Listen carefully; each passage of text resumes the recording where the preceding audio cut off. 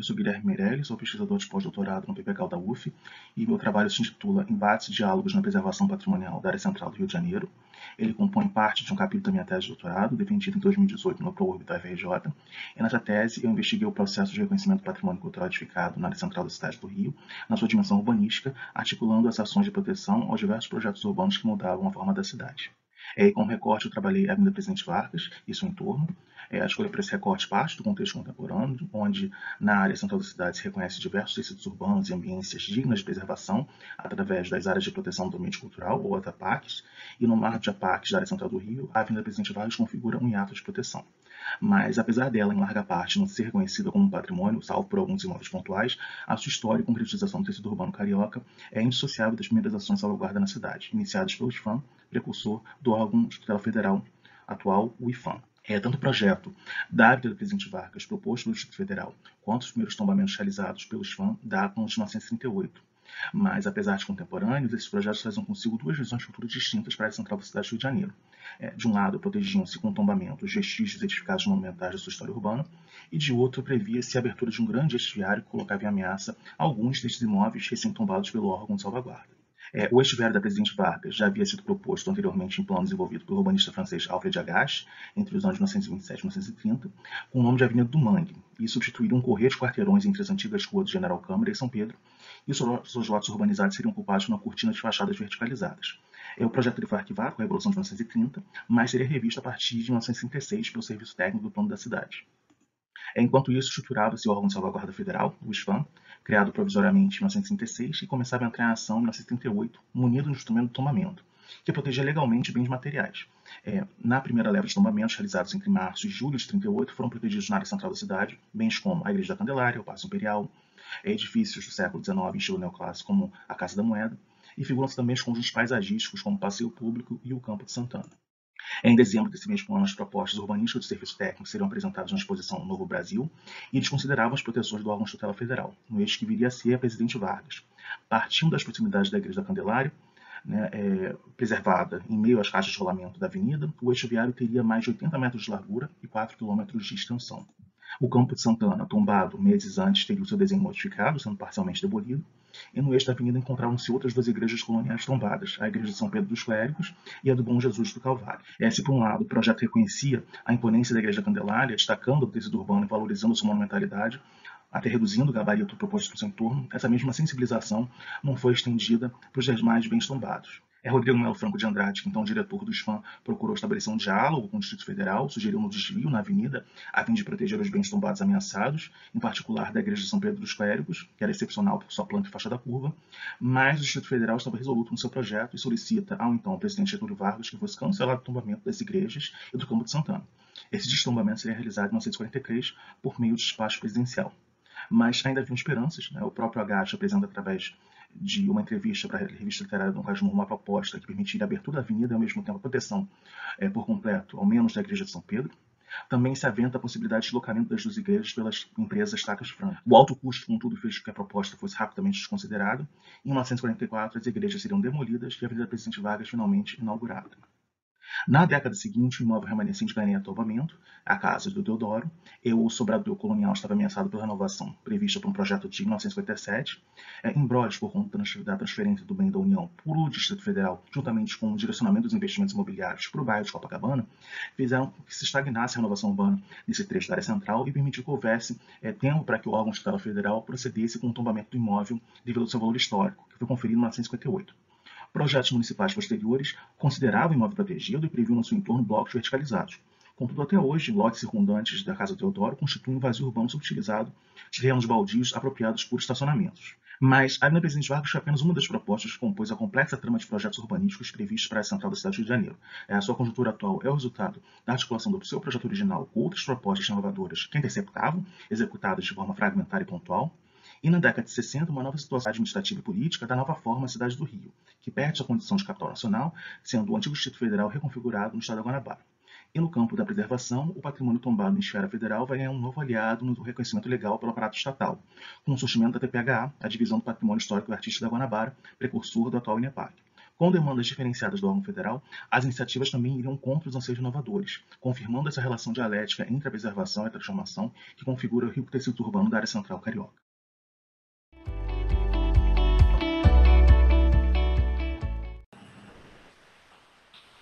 Olá, meu nome é Ana Carolina Tavares e eu vou apresentar o artigo Paisagem Cultural e Economia Criativa, Caminhos e Desafios para a Preservação do Patrimônio no Centro Histórico de Belém, escrito em coautoria com o colega Simão Cavalcante e com o professor José Gil Lima, como resultado da disciplina de Desenho e Regulação Urbana no PPGAU UFPA.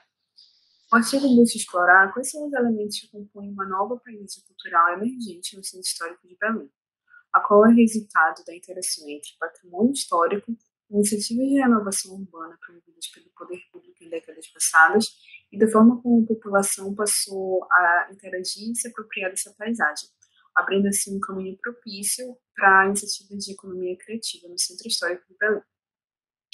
É, o Centro Histórico passou a ser objeto de intervenções de renovação urbana a partir da década de 90, quando se iniciou a gestão do governo do estado do Pará de uma prefeitura de Belém com diferentes visões do patrimônio da cidade, as quais foram traduzidas em obras e em políticas culturais que deixaram um importante legado de preservação do patrimônio histórico na cidade, ligadas em grande parte é, à prática de renovação urbana. Considera-se que essas práticas estão associadas é, a iniciativas de empresariamento urbano, conforme definidas por David Harvey, as quais consistem em atribuir funções empresariais para a gestão do espaço urbano. É, grande parte das intervenções realizadas também foram influenciadas pelo desejo manifestado pelas classes mais abastadas de Belém de abrir janelas para o rio, que seriam espaços de lazer e de contemplação às margens da Baía do Guajará e do Rio Guamá.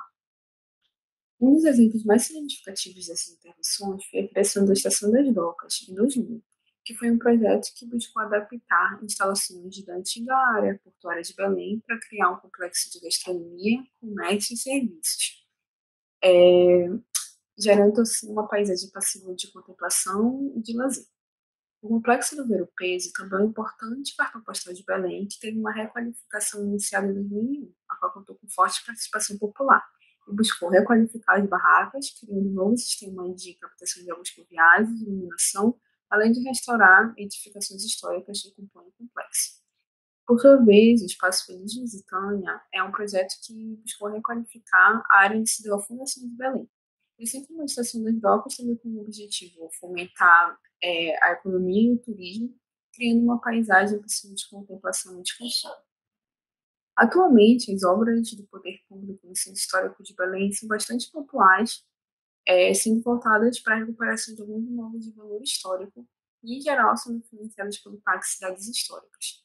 No entanto, se verifica um volume considerável de eventos é, ocorridos no Centro Histórico de Belém que buscam valorizar a culinária local, sendo que grande parte desses eventos acontecem em áreas que já foram requalificadas anteriormente, como a Estação das Docas e o Ver Peso. Esse movimento dá início de um novo momento no Centro Histórico de Belém, no qual o fomento ao turismo e à economia se dá muito mais através de incentivos a eventos e a setores culturais específicos, em especial a gastronomia, do que por meio de grandes obras, como ocorreu em décadas passadas. Assim, a presença de equipamentos urbanos voltados para a cultura, bem como a existência de um calendário voltado para a utilização desses espaços, fomentou o surgimento de diversas manifestações culturais, gente pede destacar o Alto do Sírio, o Arrastando a Real do Pavulagem, o Projeto Circular Campinas Cidade Velha, dentre outros eventos singulares é, de iniciativas de grupos independentes. Assim, a gente considera que as intervenções realizadas na década de 90 início dos anos 2000 colaboraram para criar um campo fértil para a produção artística, o qual resultou em uma paisagem cultural propícia para iniciativas de economia criativa que busca agregar valor a partir do simbolismo do centro histórico de Belém. É, no entanto, não é possível desconsiderar que esse movimento também traz, pode trazer efeitos negativos, é, como uma tendência à elitização de serviços e dos espaços.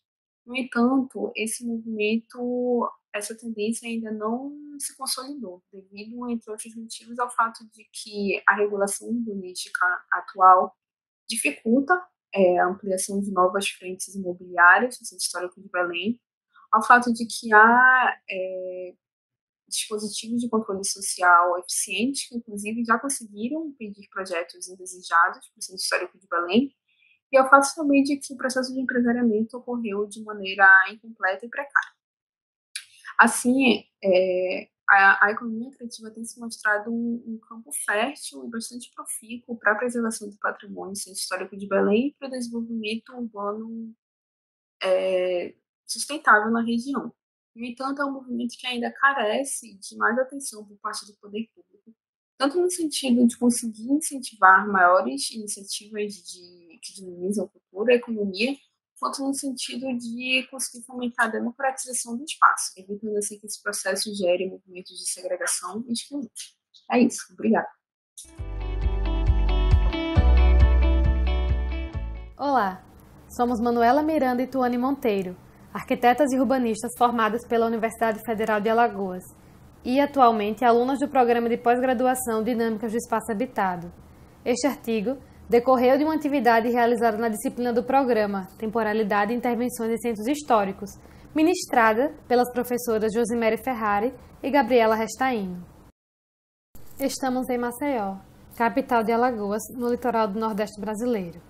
Nas últimas décadas, assim como em outras capitais do país, a maciça oferta habitacional na periferia, aliada à especulação imobiliária nas áreas centrais, praticamente deslocou o uso habitacional para fora do bairro Centro, objeto de estudo desse trabalho. O bairro Centro se configura como um dos primeiros núcleos de povoamento da cidade de Maceió e, desta maneira, como um lugar de subimportância para a história e memória da capital alagoana. Desde a gênese da cidade, no início do século XIX, o bairro se estabeleceu como um palco de importantes acontecimentos, Situado em uma rota de escoamento de produtos agrícolas, o então povoado passou a progredir determinado por uma forte dinâmica mercantil e tornou-se em vila em 1815. Dessa forma, o tecido urbano do centro evidencia a história da cidade, sua diversidade de contextos, temporalidades, instaurando condições para uma memória coletiva. A percepção do bairro enquanto patrimônio é reconhecida, sobretudo relativamente à manutenção de seu conjunto de edifícios ecléticos. Desde outubro de 1997, parte do bairro foi definida por decreto como uma zona especial de preservação. Atualmente, o bairro Centro ainda se conforma como um lugar de suma importância no âmbito municipal e estadual, pois articula diversos atores e atividades, abriga uma importante área comercial, de serviço e de órgãos institucionais, como a sede do governo estadual, diversas secretarias estaduais e municipais e equipamentos de saúde, educação e cultura. O caráter comercial, marca da história do bairro, reverbera até os dias atuais, sendo os principais polos comerciais do estado. Conta com cerca de 600 estabelecimentos, dentre os quais empregam direto e indiretamente 7 mil pessoas. A área também apresenta um vasto número de comerciantes informais. Diante disso, o trabalho tem como objetivo registrar análises e discussões acerca do bairro Centro, além de propor intervenções para o seu sítio histórico. Para isso, foram realizadas visitas de campo baseadas no método SWOT, onde foram analisados riscos, criticidades, recursos e potencialidades da área em estudo. Durante as visitas de campo, ficou notável que a atual dinâmica do bairro apresenta um contraste entre o uso dos espaços públicos, onde as ruas possuem uma grande quantidade de pessoas e mobiliários urbanos, e as praças, pouca ou quase nenhuma dinâmica de uso. Assim, o enfoque das intervenções propostas foram as praças do bairro e seus entornos. A partir das análises, percebemos que, apesar do bairro apresentar uma vivacidade em muitas de suas ruas, o entorno das praças não pareceu ter a mesma característica. Constatamos que o esvaziamento de moradores no bairro, sinalizado pela diminuição do número de residências e habitantes, é um dos principais fatores que ocasionam a ausência de usuários nas praças. Apesar das ruas serem ativas e diversificadas em comércio e serviços, suas praças são carentes de usos, principalmente em decorrência da escassez de habitação, de pessoas que se apropriem desses espaços de diferentes formas e horários. Por essa razão, as propostas de intervenção foram norteadas principalmente pela inserção de habitação e edificações de uso misto, além de melhorias na infraestrutura e na valorização das edificações históricas presentes no entorno. As propostas também tiveram relação com as potencialidades que cada praça tem a oferecer. Por exemplo, nas que são mais próximas à rota turística da cidade, sugerimos a inserção de pousadas e equipamentos culturais. Em outras, percebemos um número relevante de pessoas em situação de rua, ao mesmo tempo em que há várias edificações abandonadas que poderiam ser abrigos ou habitação social. Também fizemos um levantamento histórico das praças e sugerimos que algumas delas tenham seu traçado recuperado, assim como monumentos ou mobiliários que estão danificados ou já não existem mais, mas que fazem parte da memória da cidade. A partir dessas análises, foi possível refletir acerca de como intervenções em centros históricos, voltadas a diferentes usos e apropriações, podem contribuir significativamente com a dinâmica da cidade como um todo.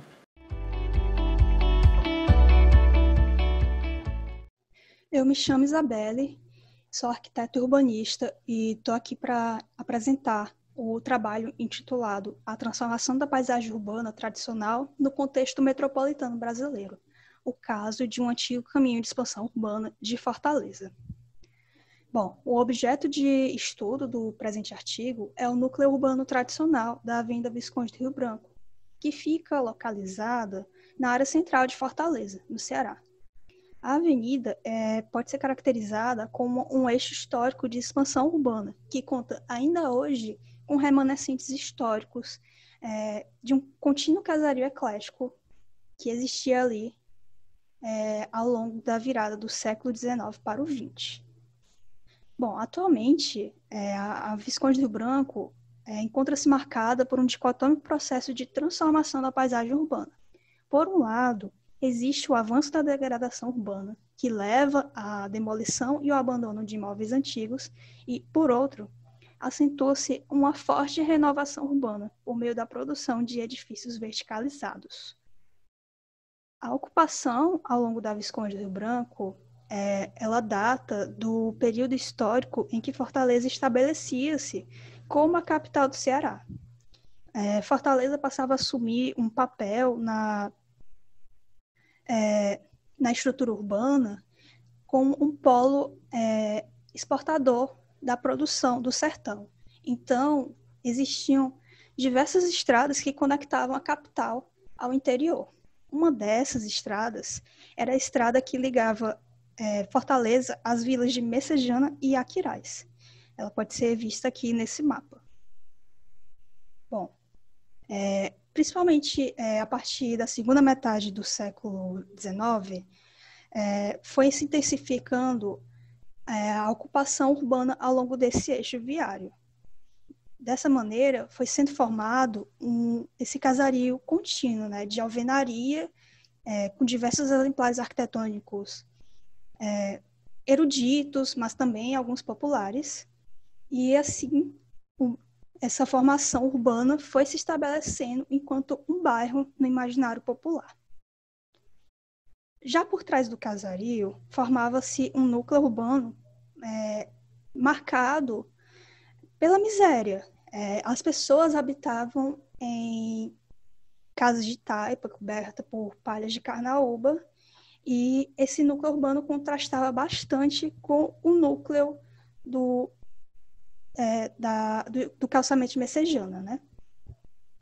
Bom, esse bairro ele contava com diversos espaços dedicados à arte, à cultura, como teatro, cinemas e bibliotecas, e existiam diversas festas religiosas, procissões, blocos carnavalescos, maracatus, enfim, uma vida cultural bastante intensa que durou até por volta é, da, dos anos 1950. Já em 1947, tinha início a aplicação de um projeto rodoviarista na cidade de Fortaleza.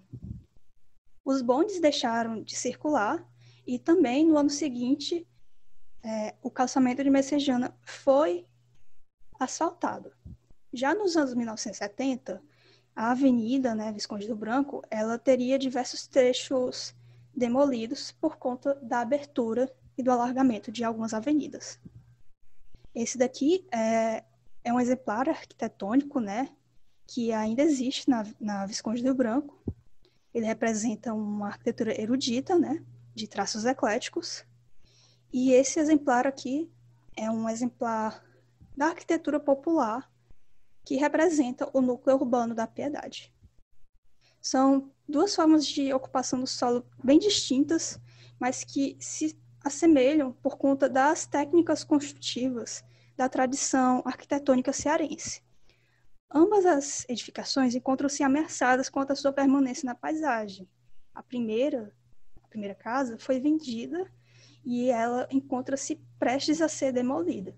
Já a segunda, ela tende a ser descaracterizada por conta das necessidades contemporâneas de seus atuais moradores. Bom, a gente vê, né, o acirramento desse processo de transformação da paisagem por meio do abandono e da construção de novas formas de ocupação do solo. E também percebe-se a demolição de alguns desses exemplares arquitetônicos. Tudo isso ocorre porque a área ela é definida como uma zona de ocupação preferencial pelo Plano Diretor Participativo de Fortaleza. Existem ali parâmetros urbanísticos que estimulam a substituição dessas formas históricas de ocupação do solo por novos modelos arquitetônicos.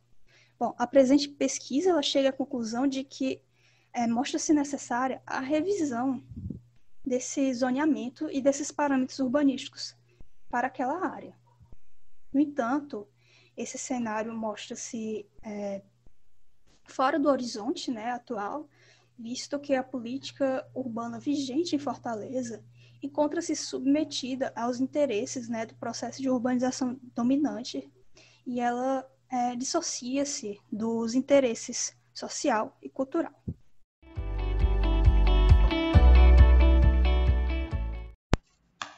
Vinculado ao eixo temático Patrimônio, Escalas e Processos, o artigo proposto Reflexões sobre o bairro Lagoinha em Belo Horizonte, Minas Gerais, os interesses mercadológicos que incidem sobre a região e a sua importância enquanto lugar de memória, foi desenvolvido por Brenda Mello Bernardes, mestre e em Arquitetura e Urbanismo pela UFMG, e Raquel Garcia Gonçalves, doutora em Planejamento Urbano e Regional pela UFRJ atualmente professora associada do Departamento de Urbanismo da Escola de Arquitetura da UFMG. A pesquisa resulta de dissertação de mestrado defendida na Escola de Arquitetura da UFMG no ano de 2016 e de estudos conduzidos atualmente sobre conjuntos urbanos no doutorado do mesmo programa. Sobre a síntese do artigo proposto, será dada ênfase à introdução e breve abordagem sobre os assuntos tratados no corpo do artigo. O trabalho foi realizado com apoio da CAPES, do CNPq e da FAPEMIG e tem como objeto de estudo o bairro Lagoinha, situado na região pericentral de Belo Horizonte. O bairro Lagoinha, um dos mais antigos da capital e que concentra relevante patrimônio cultural, a partir do ano de 2014, tem sido foco de pesquisas conduzidas pelo poder público, culminando na divergência de interesses de renovação e recuperação urbana do bairro. Sobre a metodologia de abordagem qualitativa, o estudo proposto utiliza como métodos de pesquisa visitas de campo, consulta a fontes primárias e dados secundários, buscando compreender os interesses conflitantes manifestos no planejamento urbano conduzido em Belo Horizonte, tendo em vista a utilização de mecanismos urbanísticos voltados ao interesse de renovação urbana de áreas da cidade e, em paralelo, a utilização de instrumentos vinculados à prática preservacionista. Diante disso, o objetivo desse artigo é de compreender os desafios na condução de diretrizes para o desenvolvimento urbano do bairro Lagoinha, considerando a operação urbana consorciada proposta em 2014, em contraponto à recente política de proteção patrimonial. Sobre a análise das transformações urbanas e os interesses mercadológicos que incidem sobre o bairro Lagoinha, a análise é direcionada para a importância da região da Lagoinha no contexto metropolitano pela conexão estabelecida da Grande BH com o vetor norte de expansão. Essa posição estratégica tem influenciado na realização de inúmeras intervenções urbanas na Lagoinha para aumento da sua capacidade viária e tais fatores têm condicionado transformações na paisagem da região, com a conformação de áreas residuais e extinção de espaços públicos frequentados pelos moradores. Em 2014, a proposta da Operação Urbana Consorciada Antônio Carlos Pedro I Leste-Oeste resultou na proposição de diretrizes urbanísticas para o bairro Lagoinha, o que engloba interesses no resgate cultural e na melhoria da qualidade urbana da região. Em contraponto, a possibilidade de gentrificação do bairro em função dos interesses mercadológicos existentes. Em destaque, o bairro Lagoinha, contemplado no plano urbanístico da operação. Por outro lado, iniciativas direcionadas ao reconhecimento do bairro Lagoinha enquanto lugar de memória e as ações do poder público voltadas à sua proteção cultural resultaram na instituição do Conjunto Urbano Lagoinha Bonfim Carlos Prates, por meio do Conselho Deliberativo do Patrimônio Cultural do município de Belo Horizonte, o que afirma o interesse de proteção cultural e de conservação da paisagem. Acredita-se que o artigo proposto tem fundamental importância para a compreensão de interesses, por vezes conflitantes, na adoção de instrumentos urbanísticos voltados para a prática preservacionista versus estratégias mercadológicas conduzidas para essa mesma área. Fim, são relacionadas às referências utilizadas para o desenvolvimento do artigo.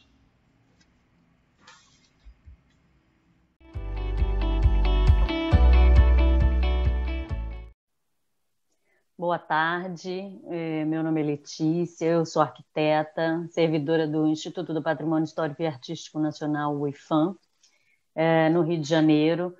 Ah, atualmente estou desenvolvendo a minha pesquisa de doutorado no programa de pós-graduação em urbanismo da UFRJ.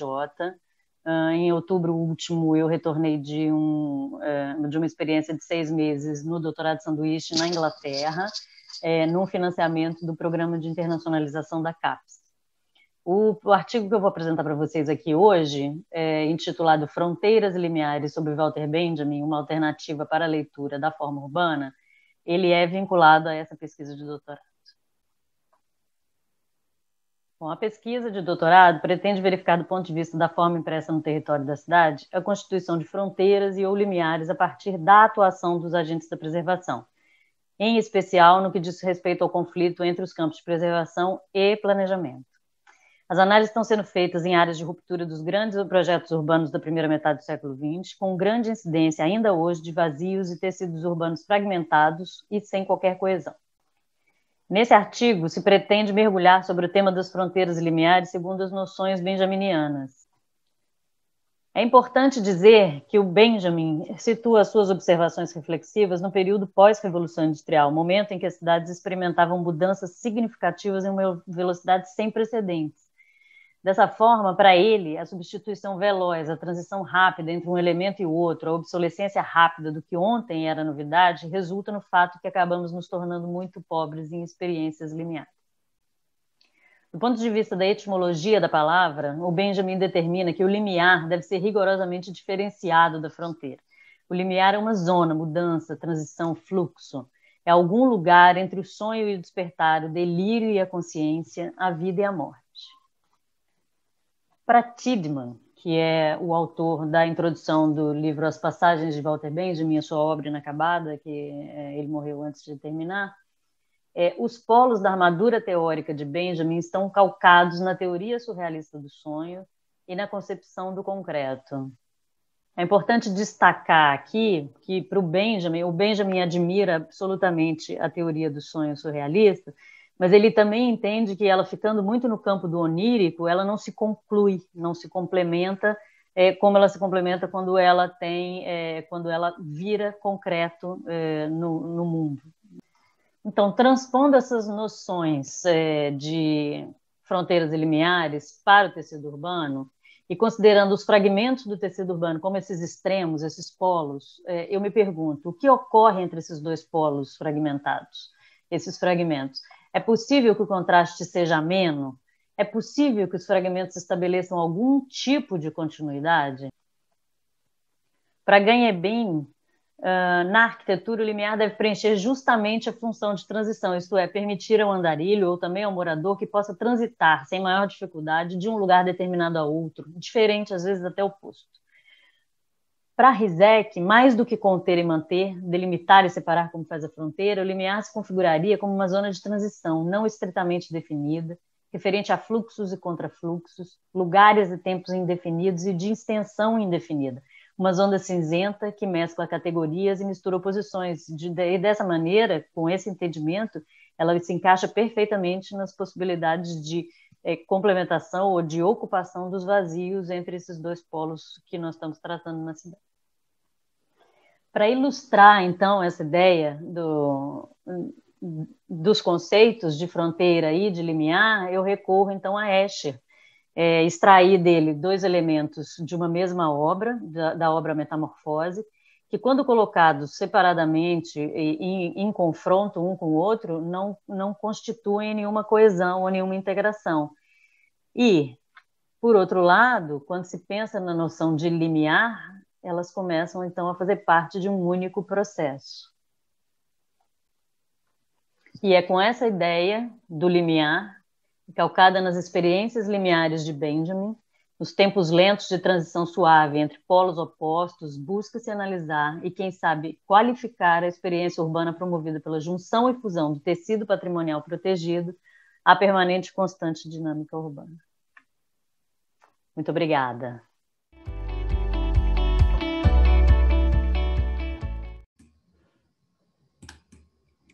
Boa tarde a todos. Meu nome é Irina Alencar de Oliveira. Eu agradeço muito a participação de todos e o interesse por esse tema tão importante do patrimônio urbano na atualidade. E hoje eu vou apresentar o meu artigo Apropriações Coletivas de Espaços Públicos, um enfoque no patrimônio cultural, tomando a cidade de Goiás como estudo de caso. O tema proposto é a análise das apropriações coletivas observáveis no centro histórico da cidade de Goiás pela sua comunidade, é, objetivando-se é, compreender as relações afetivas criadas entre os habitantes e esse lugar, através dessas apropriações e com esses processos, e como esses processos refletem na preservação e patrimonialização da cidade.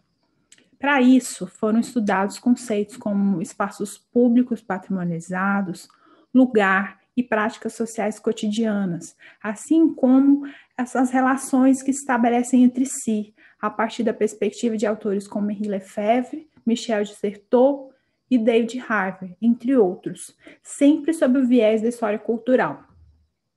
Como fontes históricas, nós, somos, nós utilizamos as obras de arte, artesanato, literatura e diversas imagens que vão de mapas antigos a fotografias atuais e de época.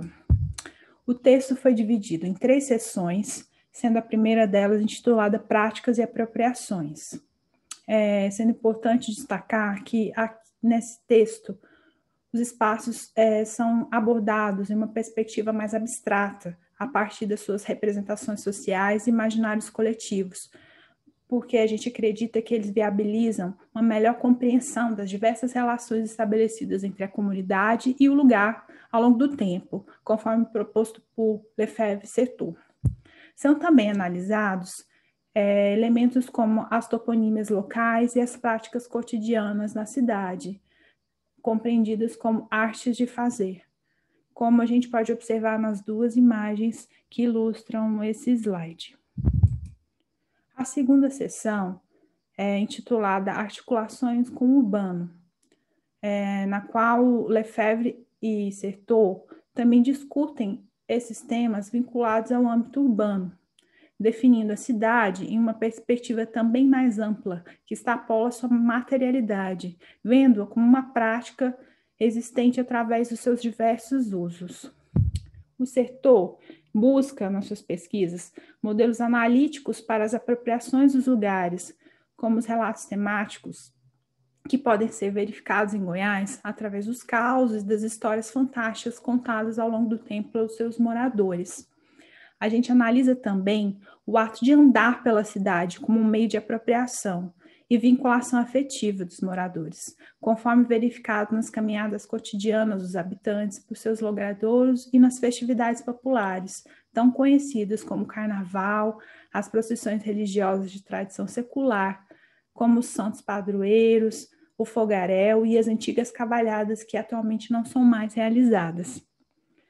Nós adotamos ainda o importante conceito de comum cultural, que é apresentado por David Harvey e traduzido por meio de diversos costumes e tradições culturais partilhados pela comunidade é, como um comum de todos mesmo.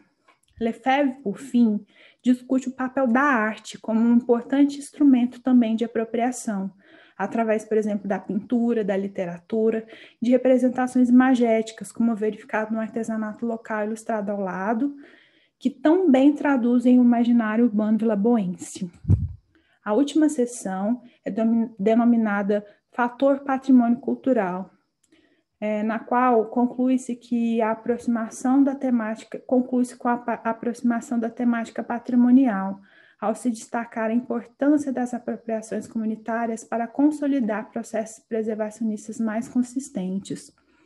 Como a gente viu ao longo do artigo, a cidade de Goiás ainda apresenta muitos desses, dessas apropriações vivas e persistentes, além de fortes vínculos afetivos da comunidade com o seu lugar, contando com sua participação efetiva e engajada em iniciativas de proteção do centro antigo, ainda que se verifiquem constantes e complexos conflitos entre os diversos atores nesse cenário. A cidade torna-se um destacado exemplo para a análise dessas, mais aprofundada desses processos de preservação, visando a compreensão de seu funcionamento e estruturação e em busca de registrá-los e tentar, com isso, perpetuá-los no tempo. Muito obrigada.